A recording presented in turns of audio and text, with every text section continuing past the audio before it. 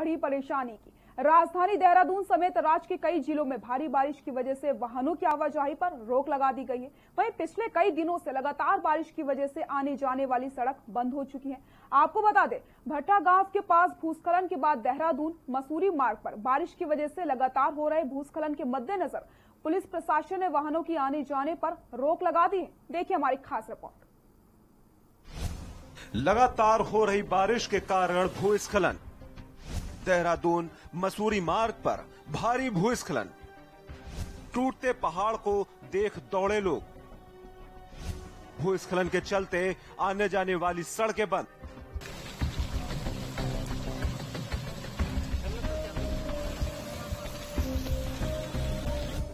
राजधानी देहरादून समेत राज्य के कई जिलों में भारी बारिश की वजह से वाहनों की आवाजाही पर रोक लगा दी गई है।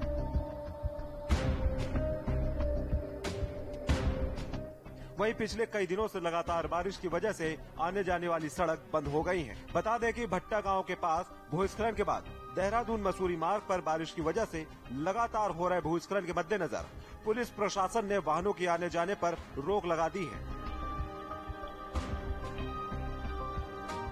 देहरादून मसूरी मार्ग पर भारी भूस्खलन हो गया, जिसके कारण मसूरी छड़ी पानी कोल्ह खेत मार्ग पर वाहनों की बढ़ती भीड़ को देखते हुए फ़िलहाल मुख्य मार्ग को बंद कर दिया गया है। इससे मसूरी से देहरादून जाने वालों को भारी परेशानी का सामना करना पड़ रहा है। सड़क से मलबा और पत्थर हटाने का काम लगातार जारी है। स्थानीय लोगों का कहना है कि लोक निर्माण विभाग द्वारा मसूरी देहरादून सड़क को चौड़ा करने के लिए कई जगह पहाड़ को काटा गया है। लोगों ने मांग की है, पहाड़ को काटने के खिलाफ जाँच कराई जानी चाहिए। लगातार पहाड़ से मलबा और पत्थर आने के कारण लोगों को दिक्कतों का सामना करना पड़ रहा है। मतलब गला भरा हुआ मसूरी का। और चार दिन हो गए रोड बंद है तो कल खुला था एक घंटे के लिए उसके बाद फिर बंद हो गया रात को ग्यारह बजे। फिर अभी तक बंद है ही है। आप देखो कब खुलता है। हिमाचल प्रदेश मोटर साहिब से आया हूँ। मसूरी का सीमेंट भरा हुआ है। रात तीन बजे से खड़े हैं रात तो बंद है। और ये कहा नहीं जा सकता कि कब खुलेगा कब नहीं। चाय नहीं है, नाश्ता नहीं है, कुछ नहीं है, सर प्रॉब्लम है बहुत ज़्यादा।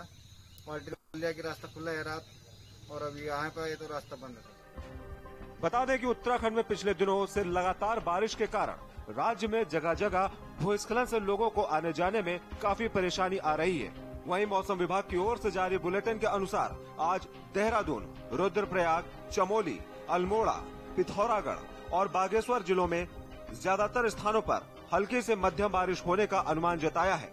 नैनीताल डिस्ट्रिक्ट जो है, और इसी तरह जो कुमाऊं क्षेत्र के पिथौरागढ़ और बागेश्वर डिस्ट्रिक्ट है तो उनमें भी भारी बारिश की संभावना है। तो आज तीन तारीख को बात करेंगे, खासकर तो आज आप देखेंगे कि जो बारिश है, अच्छी बारिश पूरे प्रदेश में पड़ने वाली है, हल्की से मध्यम ज़्यादातर जगहों में है। और जो भारी बारिश है, वो जो गढ़वाल के मैंने डिस्ट्रिक्ट बोले देहरादून टेरी पौड़ी, इनमें संभावना है। और साथ में कुमाऊं क्षेत्र में तो वहाँ भारी से बहुत भारी तक भी आज एका जगहों में नैनीताल चंपावत बागेश्वर और पिथौरागढ़ डिस्ट्रिक्ट, इनमें अच्छी संभावना है। अन्य जिलों में भी कुछ कुछ स्थानों पर बारिश हो सकती है।